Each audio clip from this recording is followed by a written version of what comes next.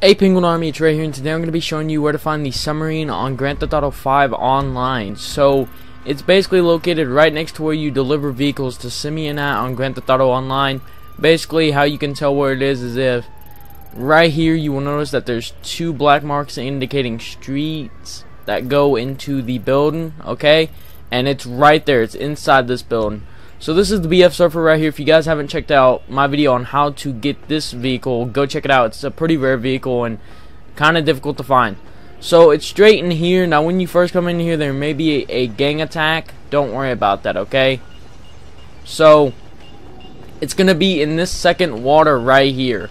Now usually it's next to the ladder, but it somehow managed to get over there. I don't know how it managed to get over there. But usually it spawns at sunrise or sunset. So that's the two main times it'll spawn here. So if you come here and it's not here, come back at sunrise or sunset, okay? And it should be here. And if it's not there, then, then just keep checking back to see if it's here. But this is where it spawns. It's moving around in the water. Alright, so you can get in this, you can control it, you can basically drive it that's about all you can do but it's a really cool thing to use and find. You basically can just go around snooping underwater if you want to. So that's it. I hope you guys enjoyed the video and I'll check you guys next time. Peace